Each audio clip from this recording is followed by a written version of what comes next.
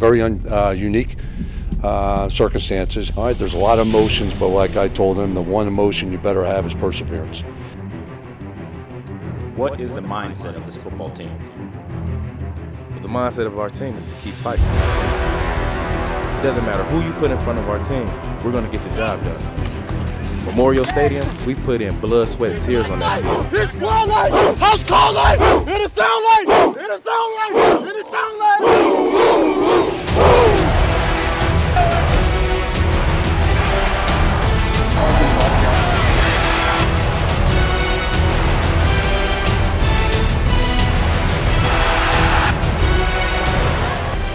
Kent State coming in on Friday night.